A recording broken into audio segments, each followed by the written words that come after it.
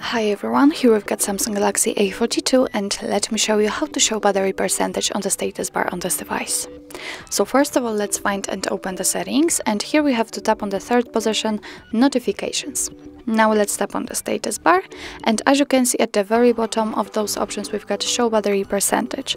Now this option is off and you can say it because we've got only the battery icon on the status bar but if you want to show the battery percentage just tap on this switcher right next to it. And as you can see from now on, next to the battery icon, we will have the exact percentage of the usage of the battery. So actually that's all. This is how to show battery percentage in your Samsung Galaxy A42. Thank you so much for watching. I hope that this video was helpful and if it was, please hit the subscribe button and leave the thumbs up.